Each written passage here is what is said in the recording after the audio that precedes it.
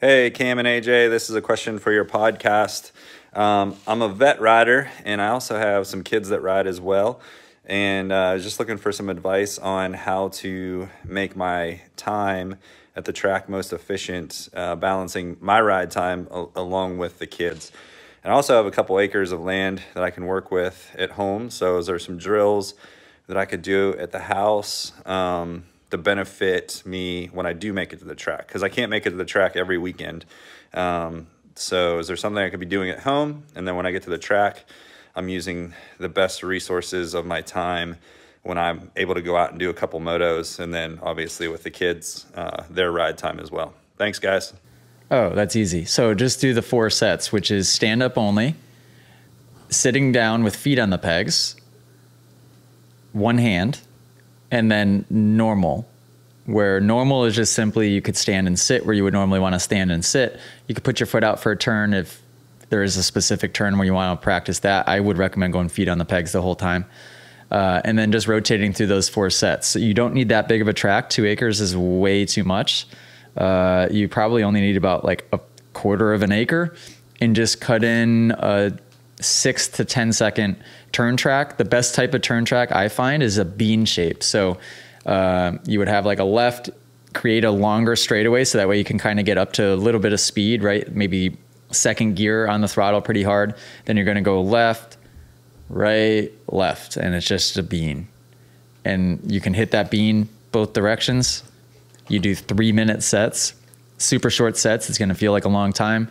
And those four standing up, uh, feet on the pegs, one hand and normal, and just rotate through different directions. You could ride for an hour a day and have the most productive riding of all time. Yep.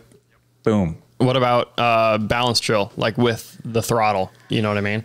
Yeah, that's actually a great one too. So if you want to set up a start line and a finish line, uh, you can do the slow race with the bike started, which is not only going to work like being able to modulate and work the front and rear brake, it's going to help with balance and just bike control, and then also clutch control. I do this mostly on a downhill with the bike off, but you could do it on the flat ground with the bike on, and you're just going to be in first gear, barely going. You could set up your start and finish line maybe as far away as you want. You could do it 25, 30 feet. You could do it 50 feet just see how long it takes and time yourself to get from the start to the finish.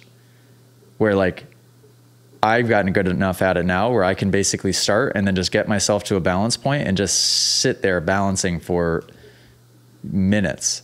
Um, and that creates good bike skill and then it creates really good clutch clutch control too because you have to just really finesse that clutch to go nice and slow. What else? Yeah, I, I would say between corner track and that, yeah, especially so as much a, productivity. As a vet rider, that's probably where you want to be. But the other things that you always preach, AJ, is just doing bike skill stuff. Like if you want to get really like technical, slow wheelies, mm-hmm. stoppies, all yeah. of those you can do in a backyard. And guess what? You'd probably have a blast for an hour. You know, even though you're not at a track.